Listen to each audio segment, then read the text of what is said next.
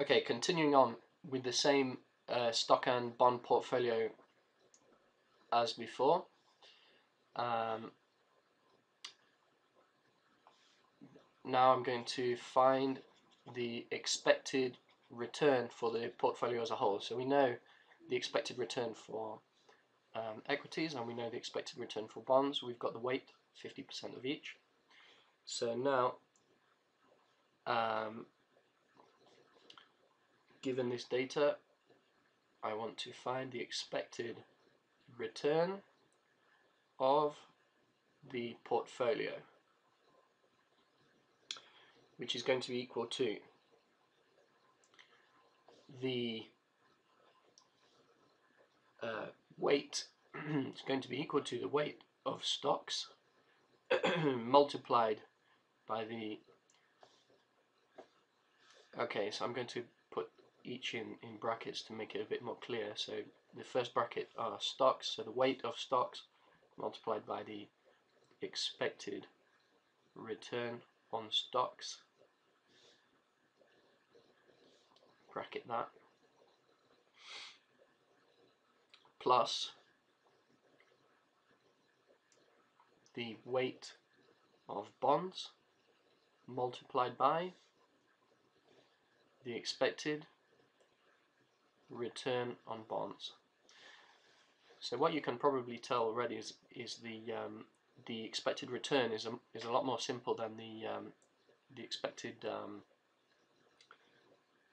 than the covariance between the between the two portfolio items because the uh, the expected return is really a simple weighted average um, of the returns of the portfolio components in this case the equities and the bonds uh, whereas the covariance figure is usually lower than the um, weighted average of the portfolio standard deviations so expected return on portfolio.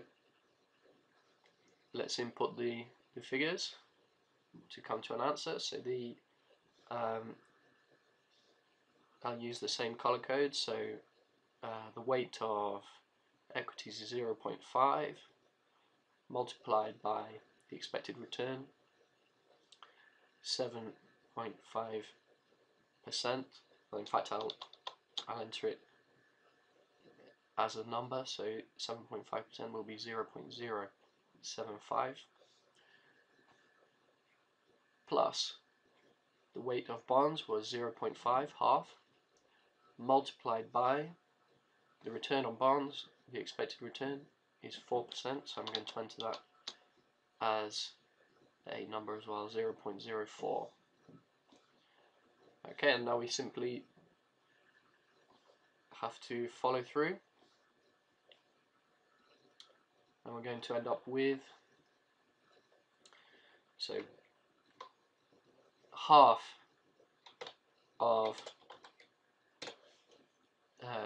7.5% um, is 3.75% so the stocks are 0 0.03 it's going to be 2 so half times 4% is 2%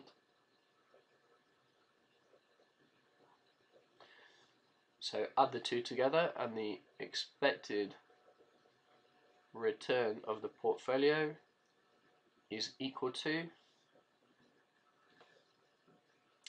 2% plus 3.75